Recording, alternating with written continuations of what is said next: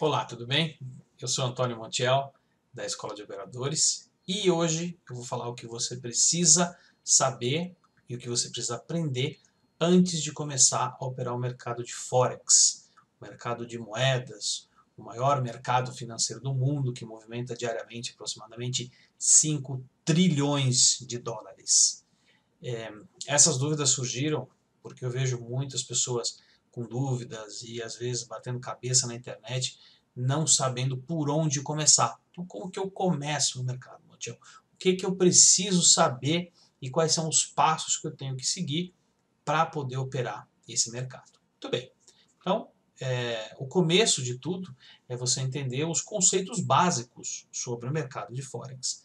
É, o que, que é uma conta de margem, o que, que é garantia, como que isso funciona, né? O que, que é um PIP, que é a movimentação mínima do mercado de Forex? Quanto vale cada PIP de acordo a cada lote? Lote, o que, que é isso? O que, que é lote operado? Né? É, como é calculado esse valor do lote? Mil, dez mil, cem mil, lote padrão, lote micro, lote mini, né? conta PIP, PIPET, isso é muito importante você conhecer esses termos técnicos spread, alavancagem, horários de negociação, já que o Forex negocia-se 24 horas por dia, né, ele começa no domingo é, à tarde e vai até sexta-feira, 5 horas da tarde, quando fecha Nova York. Então ele só fica fechado é, de sexta, 5 da tarde, até domingo, é, 7, 8 horas da noite, que é quando abre o mercado, o mercado asiático. Tá?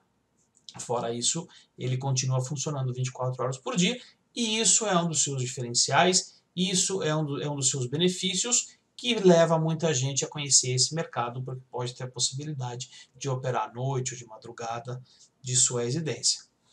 Quais são os principais pares que existem no Forex, que a gente chama de majors, né, que são todas as principais moedas em relação ao dólar americano?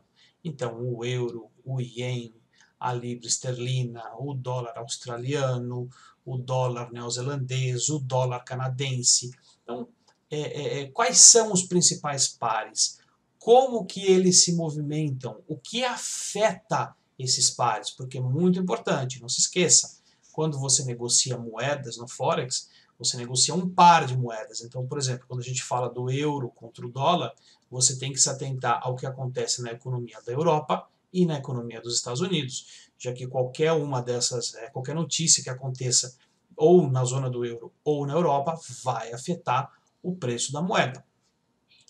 Depois, que muita gente escorrega, muita gente tem dúvida em como escolher uma corretora, porque o Forex você não opera aqui no Brasil, você abre conta numa corretora no exterior e você tem que mandar o seu dinheiro para lá. Então isso também muito cuidado, é, evite corretoras em paraísos fiscais, evite é é, é, é, corretoras que, que lhe ofereçam bônus, esse tipo de coisa. Né? Sempre procure uma corretora que seja num, num, num, num grande centro financeiro como Londres, Suíça, Dinamarca, enfim, é, países de, de, de, de, primeiro mundo. Tá? cuidado com isso. depois, quem são os players de mercado e como eles trabalham? Então, quem opera no mercado de Forex?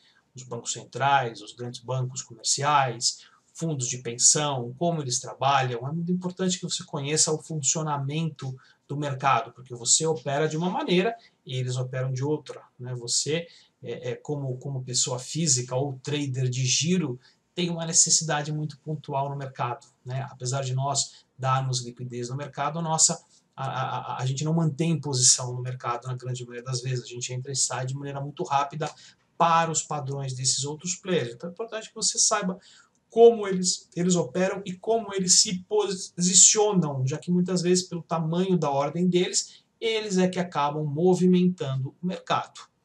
Calendário econômico dos Estados Unidos é, e também do país aonde você está operando, isso é muito importante. Então, se você opera Inglaterra, quais são é, o calendário econômico dos Estados Unidos quanto o calendário econômico da Inglaterra, quais são os principais dados econômicos que vão ser divulgados, é, discursos de autoridades é, e, e, outras informações, como por exemplo no caso do Brexit, né, do Brexit, que possam afetar o preço da moeda. Tá? Então, muito importante é, isso daí. É, análise fundamentalista também é, é outro dado, é, é, outra coisa que vocês têm que conhecer um pouquinho. Né? Então, como, é, como, como estão as economias do país que, que você está operando, Japão, Europa, Austrália, enfim. É, existe inflação, não existe inflação? O Banco Central controla a moeda, não controla a moeda? Porque lembre-se, a política monetária é uma das formas de controle da economia. Então, os bancos centrais, de alguma maneira e com alguma intensidade, alguns mais, outros menos, afetam o preço das moedas, têm um certo controle sobre eles através de suas políticas monetárias. Então, muito importante que vocês saibam como isso funciona para não serem pegos de calça curta. Análise técnica, que é análise de gráfico, então depois de você saber todo o básico do funcionamento de mercado, né, vem a parte de gráfico para você analisar o estudo do comportamento de preços do mercado. Então aí você tem que saber muito bem suporte, resistência, linhas de tendência, acumulação, distribuição, teoria de Down, figuras de continuação e de reversão de tendência. Num segundo momento, você pode estudar médias móveis e outros indicadores técnicos, como bandas de Bollinger, estocásticos, RSI, enfim, outros indicadores que possam te ajudar se você ainda não criou né, o seu próprio setup operacional é, até esse momento. Então, falando sobre isso, o que você precisa também criar é o seu próprio setup operacional, as suas estratégias né, que você vai usar e analisar o mercado de acordo ao seu perfil operacional. Lembre-se que existe quatro tipos de perfis operacionais no mercado. Né? Você tem é, o scalping, o day trader, o swing trader e o position trader. Cada um deles opera de maneiras diferentes e tem alvos e stops e exposições de risco de acordo com o seu perfil. Então, é, se você também não sabe qual é o seu perfil e vem começando agora, dentro de seis meses, mais ou menos, quando você começa a operar, você vai descobrindo o seu perfil. Então, se você nunca ouviu falar disso, é importante que você se adapte, que você conheça quais são os perfis existentes e como funciona e trabalha cada um deles, para que você não misture perfis operacionais, que é um erro muito comum e causa um, um certo número de perdas para traders iniciantes confundirem estilos operacionais. É, tempo e dinheiro para aprender, né? também é, isso é algo que você precisa ter para operar. É, tempo, não adianta. É, o operacional leva um tempo, entre seis meses a dois anos, né? dependendo do seu perfil e do seu psicológico. E por fim, disciplina. Né? Então, a, a disciplina é algo que você precisa conquistar. A disciplina para saber quando operar, quando não operar, quando entrar no mercado, aonde posicionar o seu stop, respeitar o seu stop, não fazer preço médio, enfim, disciplina para ser um trader profissional de verdade.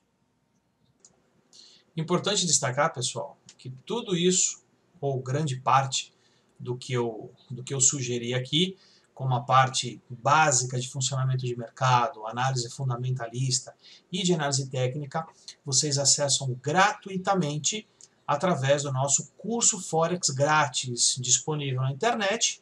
São mais de 50 aulas e 6 horas de vídeo para vocês estudarem aonde e quantas vezes vocês quiserem.